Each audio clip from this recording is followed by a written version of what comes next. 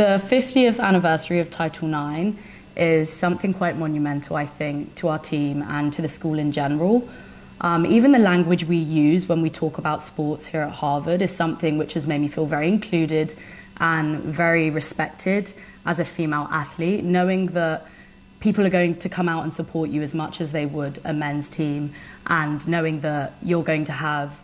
loads of people interested in your progress as an athlete that are checking up on your stats, that are coming and looking at how the team is doing, um, is something which is really special. And I think it's very important that we're at a school where we feel celebrated and we feel valued. And um, yeah, the 50th anniversary is very fitting for that.